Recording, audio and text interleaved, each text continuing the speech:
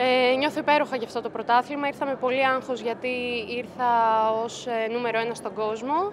Ε, επιβεβαίωσα τον τίτλο μου. Βέβαια, είναι ο πρώτος τίτλος στο Παγκόσμιο Πρωτάθλημα. Νιώθω υπέροχα, νιώθω πολύ περήφανη, πολύ χαρούμενη και ανακουφισμένη που έχω εξασφαλίσει την πρόκρισή μου για τους Ολυμπιακούς του Τόκιο.